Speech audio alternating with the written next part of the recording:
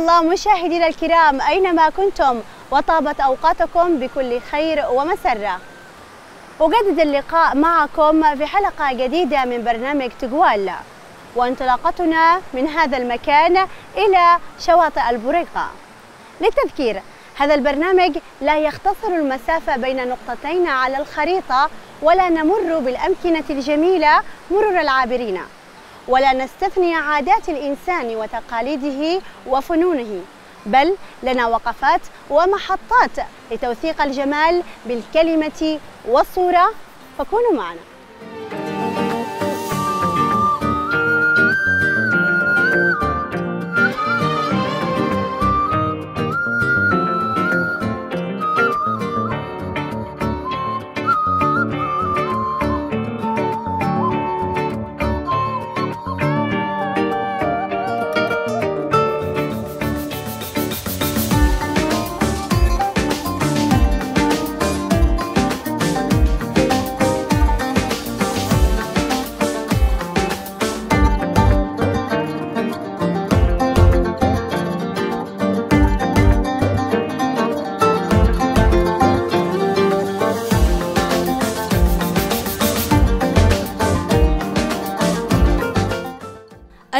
البريقة واحدة من مديريات العاصمة المؤقتة عدن وتقع في الجهة الغربية منها. وعلى امتداد الشريط الساحلي للجمهورية اليمنية. وقد سماها الاستعمار البريطاني أثناء فترة حكمه بعدن الصغرى وأقام فيها أقدم مصنع وميناء لتكرير البترول والمشتقات النفطية وتصديرها. كما اعتبرها منتجعا سياحيا خاصا للسكان الإنجليز وتوجد بها مقبرة لموتاهم. أعدت بطريقة متقنة في الترتيب تصطف فيها القبور بنظام هندسي غاية في الدقة. ولأهمية موقعها الاستراتيجي فقد شيد الاستعمار بها قلعة الغدير على مرتفع مطل على الملاحة البحرية والوصول إليها ممر واحد. تعد البريقة مركزا للصيادين ومنتجعا للتنزه في شاطئ الغدير وفقم والمسقاية. ومهنة الصيد هي أهم وأقدم حرفة لسكانها. طبعا هناك سكان سكنوا في مدينة البريقة هم الآباء والأجداد. من أول من سكن في هذه المنطقة هم الصيادون الذين أخذوا على المناطق الساحلية كاماكن سكنية لهم. ظهرت منطقة ما يعرف بئر أحمد. هذه المنطقة التي يوجد في بها سلاطين العقاربة وما إلى ذلك واللي هم الذين كانوا متواجدين بشكل أساسي وأول في هذه المناطق. ثم تفرعت بعد ذلك عديد من الأسر التي انتقلت إلى مناطق أخرى مثل الفقم والخيصة ورأس عمران. حيث كان لهذه المناطق الساحلية الظهور الأولي في مديرية البريقة. تضم مديرية البريقة العديد من القرى والأحياء السكنية بجوار مصافي النفط والمحطة الكهروحرارية إضافة إلى مدينة إنماء السكنية ومحمية الحسوة الشهيرة بندرة أشجارها وطيورها.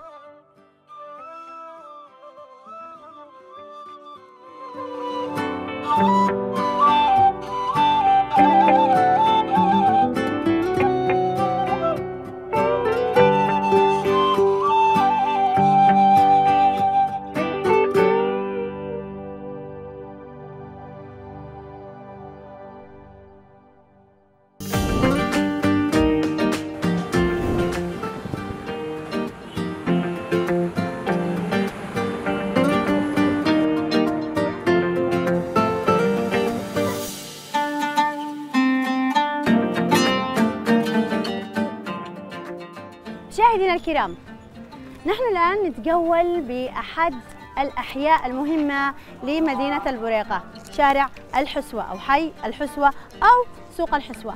الحسوة اللي تشتهر بأجمل المواد منها العشار العدني. من منا لا يعرف العشار العدني؟ وهي أنسب وأهم وأجمل وألذ هدية تعطيها لحبايبك وأهلك من عدن. العشار هي نوع من أنواع المقبلات في الوجبات الشعبية العدنية واللي يكون له نكهة ومذاق لذيذ.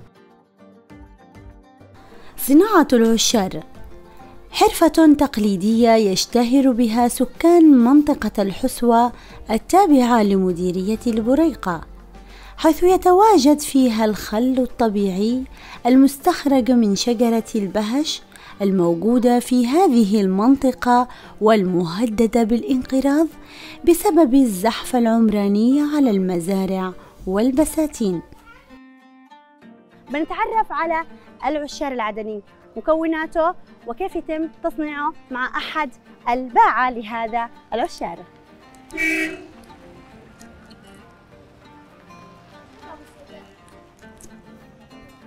السلام عليكم. السلام ورحمة الله. كيف الحال؟ الحمد لله. طيب أستاذي أول تعرف على اسمك؟ جميل جمال. يا حي وسهلا حياك جميل. جمال.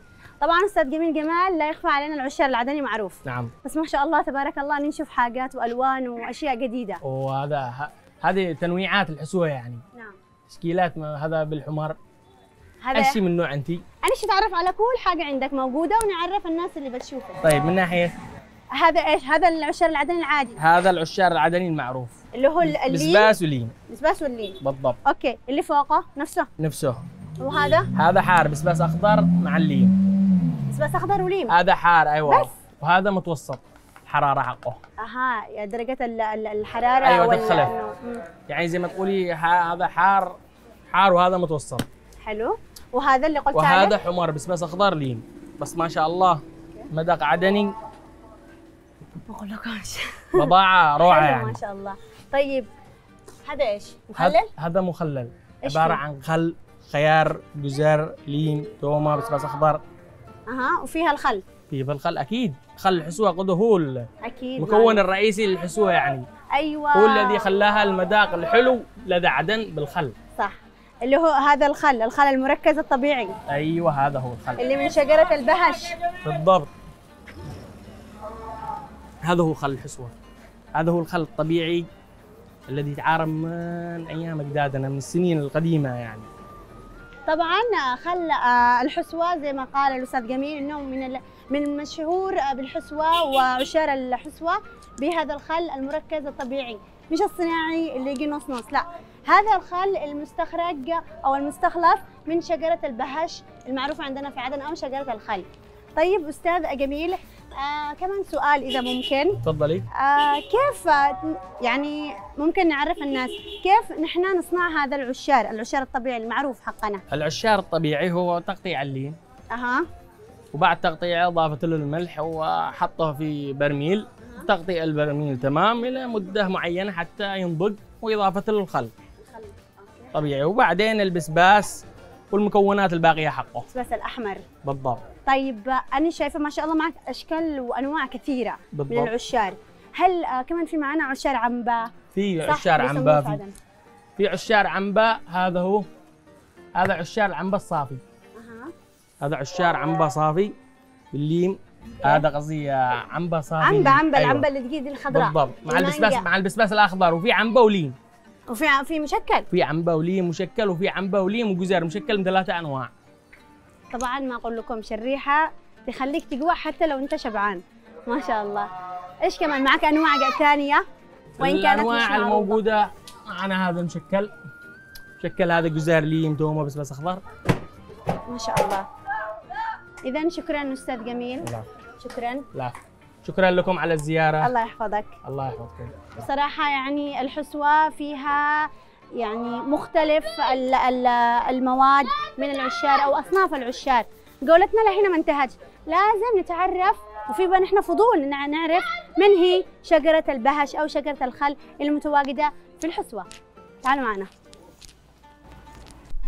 وبعد استعراضنا أنواع العشار وطريقة إعداده توجهنا إلى إحدى المزارع في الحسوة لمعرفة شجرة البهش وكيفية استخراج الخل منها. وجدناها تشبه أشجار النخيل في جذوعها وسعفها مقاومة للحرارة والجفاف. وموسم ثمارها في فصل الصيف تخرج ثمارا تسمى بالدغم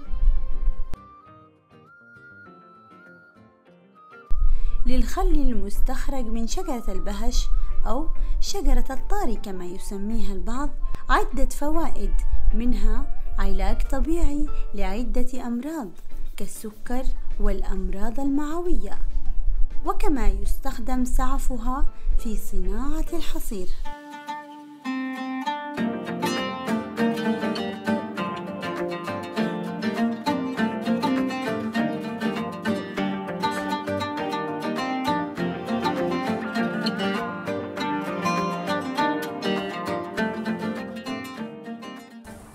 تحضير إنتاج شجرة الطاري وتحضير هي شجرة الخل نفسها. ونبدأ بعدة مراحل حتى تقوم عملية الإنتاج الخل. وهي المرحلة الأولى نقوم بعملية تقشير هذه الشجرة حتى تطلع باللون تتحول من اللون الأسود إلى اللون الأبيض. ثم بعد ذلك نضعها في الشمس لمدة أسبوع أو ما يزيد عن ذلك حتى تقوم بعملية الحمرار. بعد هذا نقوم بقص هذه الشجرة ونقوم ب أيضا نعمل لها مقرأ حتى تقوم بعملية التنزيل الطاري نقوم أول شيء بعملية دق الشوك والمسن اللسان لهذه الشجرة ثم نقوم بعملية عمل القارورة وأيضا عملية قص الشجرة هذه خمس مرات يوميا. أيضا نقوم بعملية تغطية هذه الشجرة بالخيشة أو ما يسمى الجونية وذلك من أجل الحفاظ عليها من الرياح والحشرات. نقوم بجمع الطاري لمدة أيام إلى أن يصل تخزين الطاري هذا 40 يوم في آه، براميل بلاستيكية ويغطى بالقواني لمدة 40 يوم ويتحول هذا من الطاري إلى الخل. وتعتبر هذه الشجرة هي مصدر دخل أساسي لمعظم آه، سكان الحسوة وخاصة آه، السكان الأصليين للحسوة.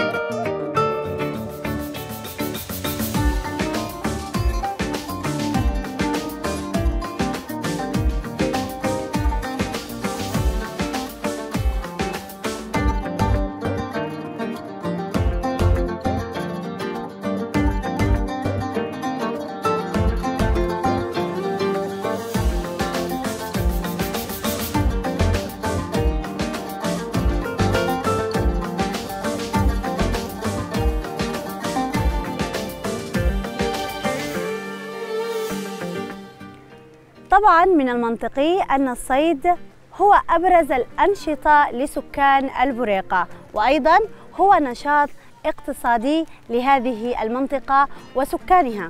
عشان كذا نشي نتعرف عن هذه الحرفة أكثر وأكثر ولكن عن قرب مع يوميات صياد. عشان كذا بنروح ونتعرف مع بعض على العم صلاح ويوميات الصياد.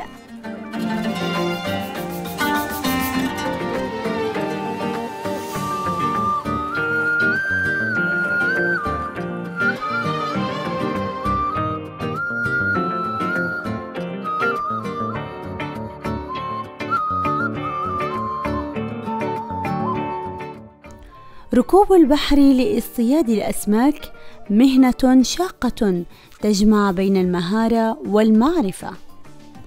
المهارة بطرق الصيد واستخدام الأدوات الخاصة به، والقدرة على تجنب المخاطر عند الضرورة، والمعرفة بأماكن تواجده وأحوال الطقس الملائمة للملاحة في عمق البحار. يستخدم الصيادون طرقا بدائية في الصيد بواسطة الشباك أو ما يسمى الجلب المصنوعة من الوتر التي توضع في أماكن تواجده فيها. مشاهدينا الكرام نحن الآن مع عمو صلاح بجولة جميلة عشان نتعرف على حياة الصياد في فقرة يوميات صياد. عمو صلاح كيف حالك؟ الحمد لله الله الله يسلمك يحفظك. طبعا هذا القارب ملكك أنت يا عمو صلاح. اي الحمد لله وتشتغل برضه بالصيد صياد آه في فترات نشتغل بالصيد في وقت ما يكون متوقف عننا آه تجي أرياح ويكون واقف عنا شغل السياحة في البحر نلقى للصيد إن شاء الله. للصيد. طب كم لك في هذه المهنة؟ كم لك يعني تشتغل بالصيد؟ آه والله يمكن ما يقارب آه 28 سنة 30 سنة ما شاء الله. عم صلاح آه، إيش هي آه، المواسم اللي يستحب فيها الصيد؟ نجم الثريا في الغروب. هذا واحد هذا في الغروب يستمر غروب نجم الثريا 40 يوم. فمن في شهر ستة طبعا في شهر ستة تبدأ شهر سبعة الأرياح الشديدة التي أيوة. يتم فيها تحذير الناس من تحذير ال- الناس من الذهاب للسواحل. شهر ستة وسبعة وثمانية نعم. بعد آه، هبوب الرياح الشديدة في شهر سبعة يتسنى للصياد بعد شهر سبعة نزول الأسماك من عمق البحر بسبب قوة الأرياح أها يعني بيكون في الأشهر سهولة في هذه الأشهر تكون أفضل أشهر للصيد في شهر ثمانية أكثر شيء. طيب ما فيش خطورة على الصياد في هذه المواسم أو في أي أوقات يكون في وقت خطورة أو وقت طوارئ؟ آه بقول كيف ممكن الصيد يتعامل مع هذه المواقف؟ بالنسبة للخطورة شوفي هذا شهر سبعة قدو يعني آه، أبا عن جد آه، وصاية من الأب من الإنسان الفاهم بس- بالصيد وفي شغل البحر أن يحذروا أبنائهم في هذا الشهر. طب في حالة حصل موقف مفاجئ للصياد في حال مثلا توقف عليك القارب في وسط البحر ما عندك حد أو ما عندك أي شيء في حالة آه، واجهنك مثلا عاصفة مفاجئة أو الرياح اشتدت عليك أو الأمواج اشتدت عليك. كيف ممكن تتصرف؟ بقول لك في في طريقة وأنا قد حصل لي مرة موقف. تفضل لي- إحنا مواقفك. حصل لي موقف والله العظيم يعني آه، عشر ال- الأبدان يعني. وقد آه، طلعت بهذا الكلام في من قبل في قنوات هذا. آه، كنا في عمق البحر مسافة آه، 50 ميل بحري. طبعا وكان البحر هادئ. يعني بجد اللي كان يقول إن الهدوء يسبق العاصفة هذا تطبق بجد فعلا. في هذه الأيام كان آه، تجي تهب رياح شمالية في غير موسمها. أها مفاجأة. آه، في غير موسمها. غير متوقع. فكنا نصطاد أسماك التونة في العميق اللي هو الثمد. ففجأة تحركنا الساعة حوالي آه، كذا تقريبا آه، السادسه إلا ربع. من مكان السمك معانا 50 حوت آه، ثمد تحركنا بثنتين مكاين. ثنتين مكاين بالقارب يمشي بسرعة. فتفاجأنا من الهدوء ذا كله اللي في نهار اليوم. تفاجأنا بدأت الأرياح خمسة ونص تشد. تبدأ تشد. إلى غاية الستة نزلت علينا أرياح إلا من عمره طويل. تمام. فمشينا مسافة السرعة هذه قطعنا يمكن حوالي 45 5 ميل من ال 50 ميل. بقينا على 45 فظلمت علينا الدنيا بحدود الساعة 7 فهذه ال 50 ميل لازم نقطعها بساعتين بساعتين ونص. فنحن قطعنا ال 5 الميل أجت الأرياح لازم تمشي دلع مشينا في موقف يعني نحن متجهين للشاطئ فجاءت موجة يعني ما توقعناها. كيف تعاملتم معه؟ أنا كنت وسط في القارب واولاد أختي اثنين عند المحركات. أها. جاءت الموجة ضربت الاثنين من ورا. أوه. الاثنين ضربوا من الخلف الموجة جت في القارب شلتهم البحر. ظلام ظلام. أنا بقيت معي تريك. ترشليت ألفت لا خلفها كذا ما أشوف أولاد أختي. في البحر. المكان تمشي لحالها. تمالكت أعصابي. تصرفت تصرف صح بدون هلع. رجعت لها خلف هدأت بعض المكاين وجلست أبوي وأصيح ما يسمعونيش يصيحوا لي ما أسمعهم. فحسن الحظ كان في جهاز ماجلان آه. معلق هنا. طب احكي للناس اللي مش عارفة إيش هي ده جهاز المنزل. هذا الجهاز ال GPS. طبعا زي ما كلمتك يعطيك الاتجاه يعطيك. موقع الصيد. يعطيك كل شيء. هو معروف ال GPS هذا ال Magellan فكان في رقبته هو مثل مثل التلفون. أول ما تس تضغط على الزرار تلصي الشاشة مش كشاف الشاشة. أيوه. ضغط على الزرار لصت الشاشة. لفت أنا مسافة يمكن آه نص كيلو أو ما يقل. شفت الجهاز الضوء عرفت إنه أولاد أختي ناس درت بفكرتي حسب مج... يعني مخيلتي فين فلتوا على الخط. فلتوا؟ رحت لها عندهم قالوا لي لا تخاف يا خال إحنا في أمان هم يسبحوا بظلام عاتي يعني. اخذتهم مشينا في ذيك اللحظة من الساعة السابعة والنصف إلى الواحدة بالليل المشي بالتدقق والهلع. نصيب نحن لولا ستر الله علينا. الحمد لله على السلامة وربي دعوة والدي. وفعل خير قدمت عمو صلاح أنا صراحة فرحانة جدا وسعيدة جدا بالحوار معك وبالنقاش معك وإنك عرفت إحنا إيش هي حياة الصياد الجميلة. وأشكرك على ضيافتك لي وللطاقم كامل على ال- حياكم على أنا. أتشرف بكم وأتشرف بمجيئكم. طبعا مشاهدينا الكرام زي ما تعرفنا مع صاحب القلب الجميل عمو صلاح صاحب الكلمة الأجمل آه، في حياة الصياد. ما هي حياة الصياد؟ كيف يوميات الصياد والخطورة اللي بتكون دائما مع الصياد؟ خلونا نتابع جولتنا في فقرة أخرى.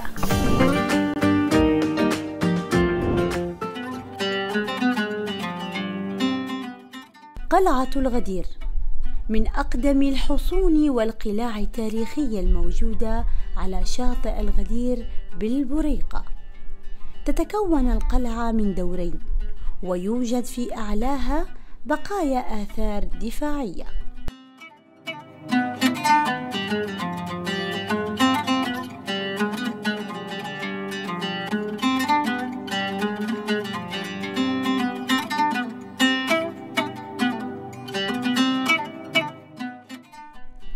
قلعة الغدير بنيت على مرتفع مطل على الملاحة البحرية في خليج عدن.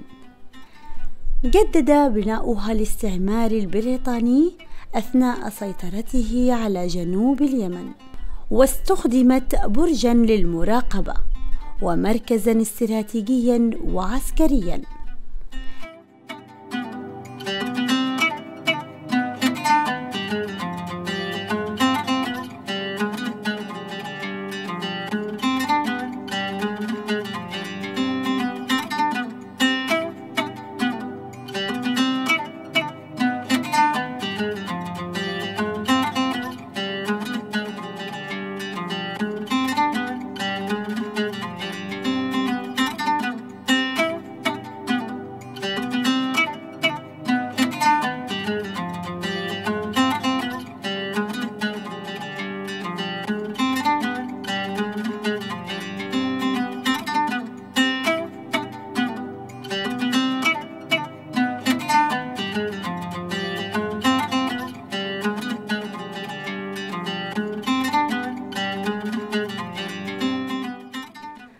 جبل الغدير. قلعة تاريخية قديمة بنيت قديما وفق مواصفات حربية كحصن دفاعي وبرج مراقبة ولكي تصل إليها يجب أن تجتاز أكثر من ألف درجة. يصعب الوصول إليها إلا عبر مدرج يصل إلى قمتها. يتجاوز عدد درجاته ألف درجة ويحلو للبعض تسميتها بقلعة ألف درجة ودرجة.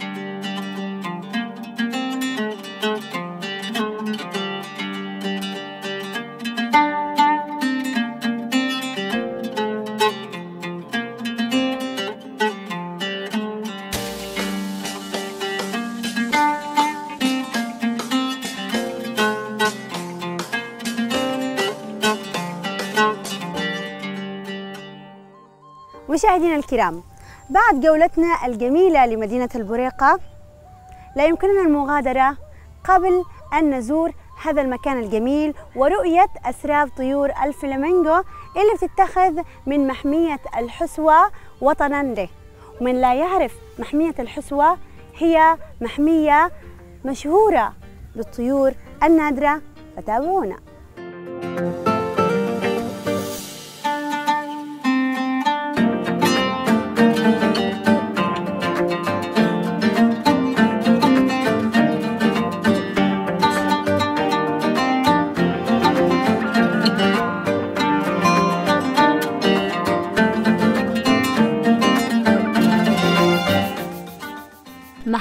الحسوة تقع على يسار الطريق المؤدي إلى البريقة وتكثر فيها أشجار البهش الذي يستخرج منها الخل الطبيعي وكما تكثر بعض النباتات والأشجار النادرة.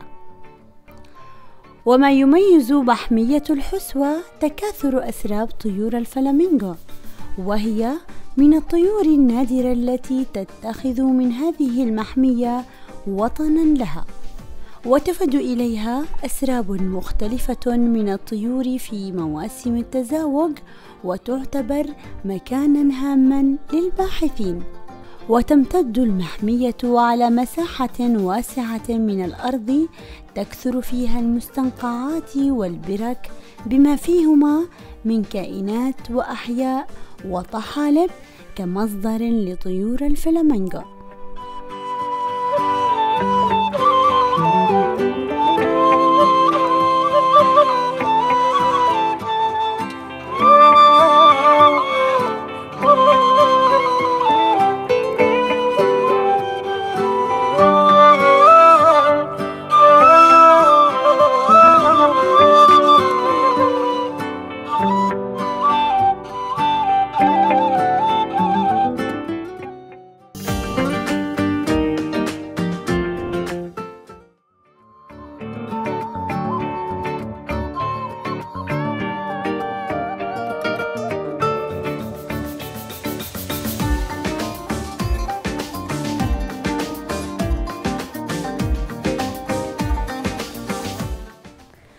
مشاهدينا الكرام نحن الآن في منزل نجمة عدن والنجمة التي تألقت دائما بسماء الفن اليمني الأصيل الفنانة أمل كادل. كيف حالك أستاذة أمل؟ الحمد لله رب العالمين. كيفك أنت؟ الحمد لله. طبعا نحن سعيدين جدا ولنا الشرف إن إحنا اليوم آه، أمام آه، فنانة ال- اليمن وفنانة عدن أستاذة أمل كادل. حياكم. أهلا وسهلا ويا مرحبا. الله يحفظك. كل عام وأنتم بخير وأنت. وصحه وعافية إن شاء الله. إن شاء الله.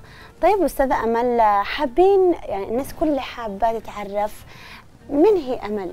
اللي دائما يعني في كل بيت يمني وعدني صوته وصل وبصوته الشقي والطرب الأصيل واليمني الأصيل. فحدثينا عن بدايتك طفولتك نشأتك من فين أنت وفين درستي؟ يعني كانت لي مشاركة في أول مرة وأنا طفلة في الصف الثاني ابتدائي اول أول مرة معني عارفة. نسيت. بس إنما يعني كانت طفولة جميلة وبريئة وكنت أحب الغناء يعني. وبسرعة لأنه أنا عندي مو- الموهبة كنت أحفظ على طول أحفظ حتى حق البنات الكبار اللي في الإعدادية. طبعا نحن غنينا خلاص غنينا في عيد الأم الصغار نحن. غنينا غنينا ده اليوم عيدك عندنا يا أمنا. وكانت المدرسة الإعدادية جنب الابتدائية. طبعا كبرنا شوية. ثلاث سنين أربع سنين كذا وانتقلت إلى الإعدادية. انتقلت للاعداديه أجت أعياد الوطنية. حضرت اول فكانوا في بنات أكبر من نحن. نحن أني أول إعدادي. في بنات أكبر من نحن ثالث إعدادي رابع إعدادي. فهم البنات الكبار لأنهم قالوا كبار فهمهم كبير لأنه عيد الثورة لازم أغاني كبيرة غير حق عيد الأم. كانوا هم جابوا لهم أغنية وطنية بعنوان الذئاب الحمر.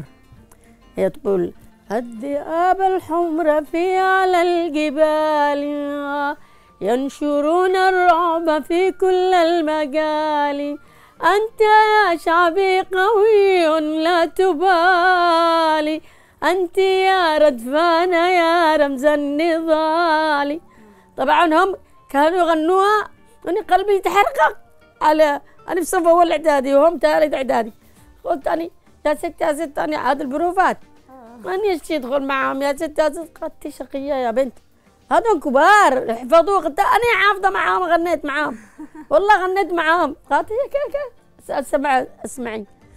سمعوني وأنا اغني الذئاب الحمر في على الجبال تندرب. أنت يا شعبيخه وعن عادوا مع الحركات ها كمان. هات ادخلي ادخلي والله في زي دخلوني مع البنات. ثالث هم ثالث إعدادي وأنا أول إعدادي. غنيت معاهم ما شاء الله. قلت الله كنت أشوف نفسي كبيرة بينهم يعني. طبعا خالة معروف إنك تحبي دائما تغني أو بصغرك كنت تحبي تغني لمحمد مرشد ناجي.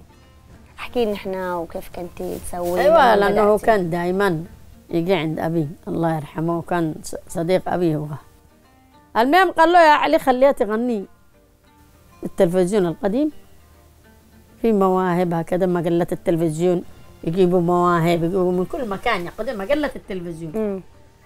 أغني وأقلد الأستاذ محمد الله يرحمه مم. يعني من كثر حبي للأستاذ محمد مرشد ناقي كأب ثاني أحب يعني أقلد يعني الغنية زيه كيف ما يغنيها بوجدانه وبإحساسه.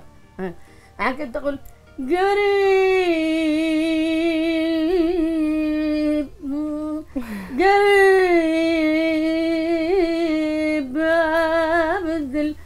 معمورة وديرة غير دي الديرة لكن لقلبي ما رضي يختار غير الشحر. لا وليت والخيرة حبها وتقديره. لا من سبح ولا العز. والمقدور دار الفلك دار وعزم السفر دار الم دار ودانا لدانا ودانا لدانا وعزمت السفر دار ال... شلو شلو شلو شلو شلو. ها وعزم. دخلتي معهد جميل غانم؟ في ديك الفترة. أيوه. أيوه مهم. فرقة الإنشاد. أيوة غنينا مع الإنشاد وهذا. وكان في من الفرقة برضو فنان معانا عازف القانون أنور مصلح. هذيك الأيام هبالي أول أغنية لي كانت مستقلة قبل مرايا الشوق. هي أهل الهوى. حلوة أغنية جميلة. غنيتها في في التلفزيون. تقول أهل الهوى غنوا آه كم بكوا معاهم ناس كم ضاحت أمانيهم ما بين الدمع وبين الكاس.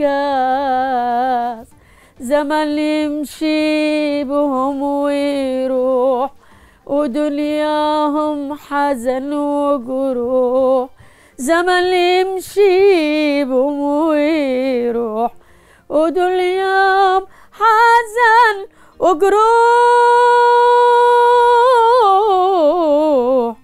أهل الهوى. طبعا أنا من أحب الأغاني طبعا لأيوب طارش حرام عليك ترمي الغزال أيوه غنيت أنا وهو دوتو في في صنعاء في مهرجان مهرجان أو عاصمة الثقافة. اعطينا إحنا بدل مقطع. مقطع أو بسيط. آه هي تقول حرام عليك. ترمي الغزل يا رامي. بالله عليك ردني بلا ردك. أنا الذي ساهر على منامي. كم طال ليلي ما عرفت رقده ما عرفت رقده الله. يا شريك روحي عليك سلامي. من قلبي المجروح أنا ونهدى. آه يا شريك روحي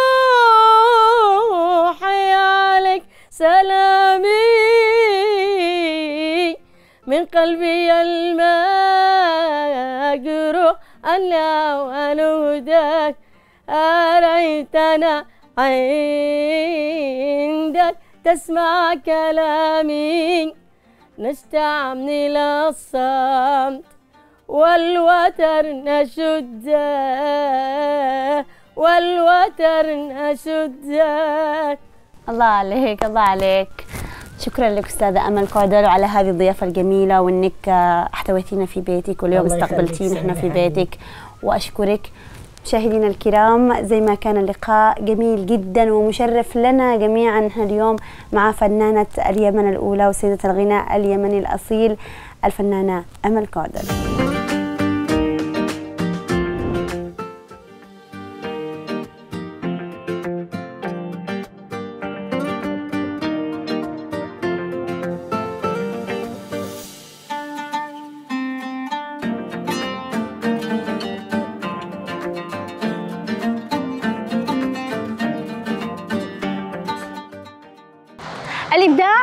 موهبة تصقل بالتدريب والممارسة لتطويرها.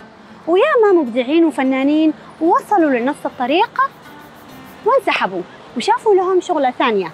نبدأ نحن اليوم اللي نحن بصدد الحديث معه ما زال متمسك بموهبته ومصر على التمسك بها وتطويرها وتنميتها. وبالحديث معه بنتعرف عليه أكثر وأكثر. خلونا نروح نتعرف من هو مبدعنا لهذه الحلقة؟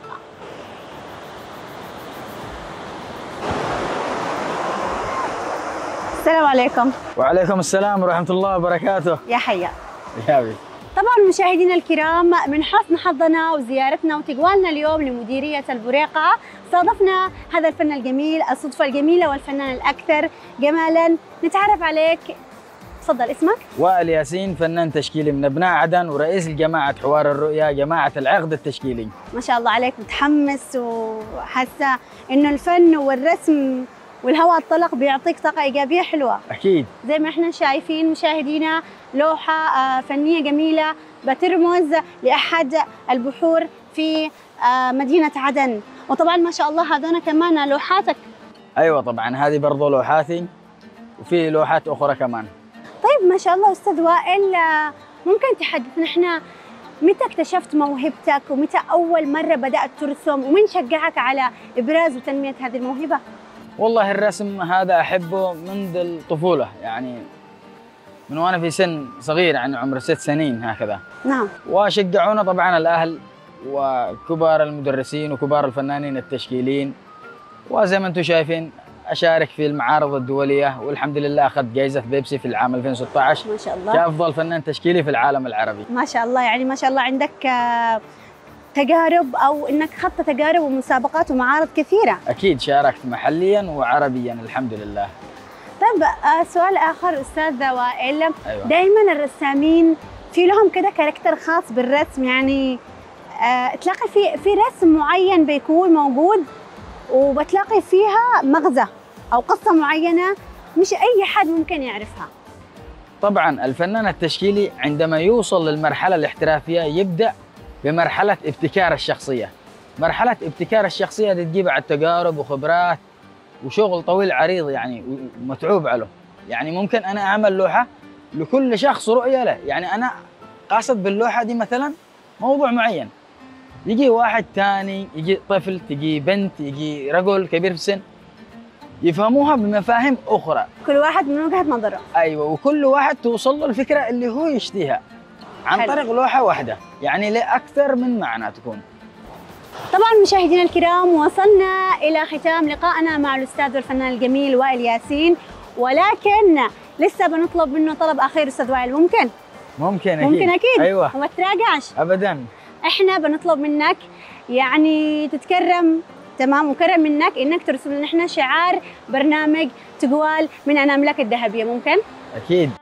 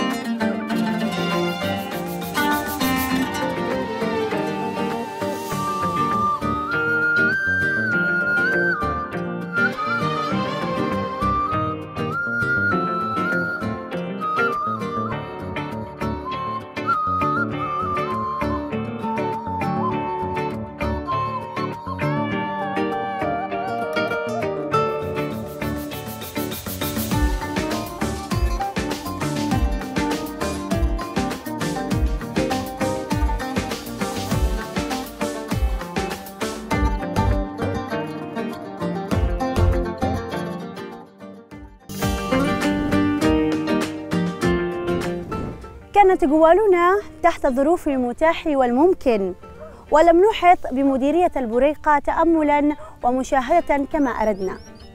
وكما يقال قليل من كثير خير من لا شيء. نلتقيكم في تجوال آخر بأمان الله.